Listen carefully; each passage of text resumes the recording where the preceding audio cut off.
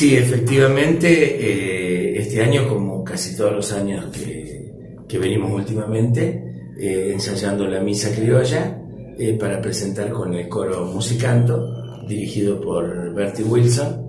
y bueno, además la participación de algunos solistas. Tenemos a Andrés Cabanillas, un tenor bastante consagrado en medio, que este, va a ser la parte de, de los solos de la misa criolla. Eh, Rodrigo Allende que nos va a acompañar con charango.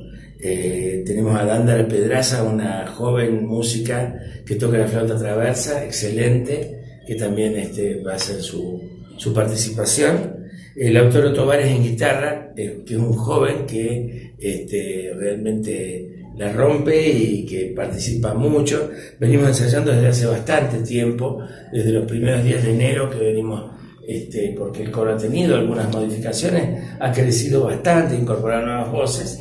Entonces, bueno, este, hemos venido ensayando desde enero para, poder tener las presentaciones, que son varias. ¿Cuándo va a ser esto?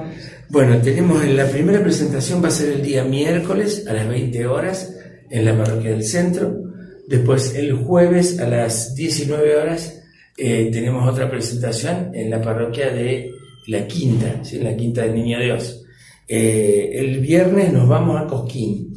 Vamos a tener dos presentaciones. Una en la panadería europea y la siguiente, después del Via Crucis, eh, se va a hacer eh, la presentación nuevamente de la misa criolla en el centro de Cosquín.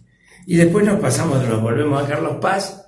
El día sábado vamos a hacer en una fábrica de alfajores nueva sobre la calle Sarmiento una presentación del coro ahí este, que va a ser muy especial porque este, el ambiente es muy especial también. Y después tenemos el domingo de Pascua, que estaremos en los jardines municipales por la mañana. ¿Todo esto es con entrada gratuita? Todo esto es con entrada libre y gratuita, es una colaboración que siempre hace el coro todos los años respecto de, de la, semana, la Semana Santa, ¿no?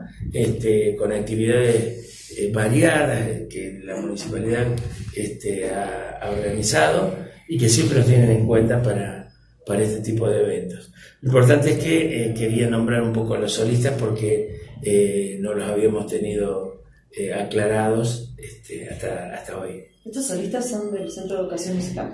Hay gente del Centro de Educación Musical y gente que no, pero son realmente gente muy, muy buena y muy capaz y con mucha, mucha buena onda que, que se han sumado y que aportan, este, la verdad que un, una calidad excelente y una, una terminación a lo que es el trabajo del coro que, que realmente es muy, muy bueno, muy valorable.